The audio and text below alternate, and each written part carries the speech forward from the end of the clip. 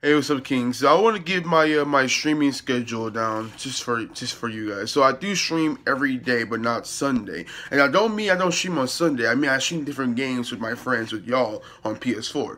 I don't have an Xbox, but I do have a PS4. So you want to have me a PS4? Names on the names right there and all that.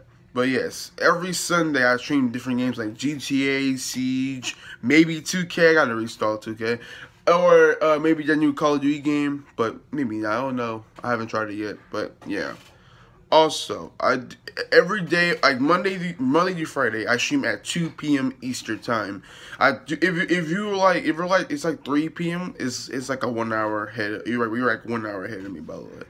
Oh yeah, if you want to join my Discord server, link in the description. I do I do talk to my uh, viewers there, my friends there sometimes. So I would recommend you go joining it. We only need like 20 like 20 less people, and then we hit like 100 like 100 people in the server.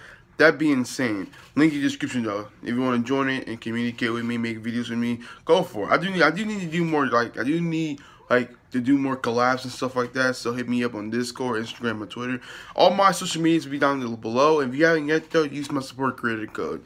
I honestly would recommend using it because first I do need to pay my editor, and second it helps me out. And that's basically it. You don't have to use it, but if you want to, go for it. Also, have a nice have a nice afternoon uh, or noon. It's like like 7 a.m. for me right now. I'll see you guys. I see you guys either at 12 or or 1 p.m. to stream GTA with y'all. Good night, boys.